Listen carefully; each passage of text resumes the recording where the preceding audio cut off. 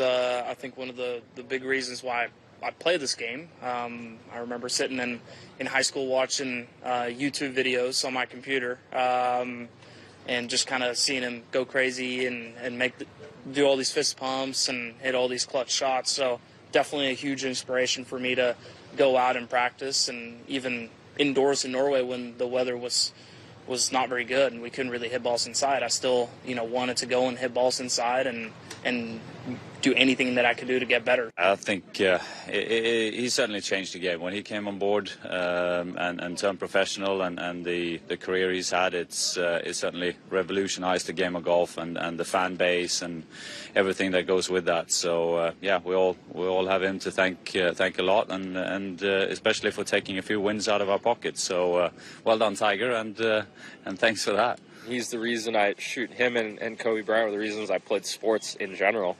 And I don't think any player or the PGA Tour can thank him enough for the impact he's had on the game of golf. And just a quick little Tiger story from Riv. He, uh, my buddy Aaron Beverly got the Charlie Sifford exemption, and he teed off first. And I was just eating breakfast right after that, and Tiger came up. I've never met Tiger, and just gave me a hug, and he was like, "Dude, great job last week." Like and that meant the world to me. It was like I, I was shaking. I was so nervous. I couldn't believe he's, he came up to me and said that. So even something small like that, and I feel like he's been such a great ambassador, and uh, it's just been cool to see him, you know, enjoy life with his kids and and being so good for the game of golf. But yeah, can't speak on on how big of an impact Tiger wow. is at.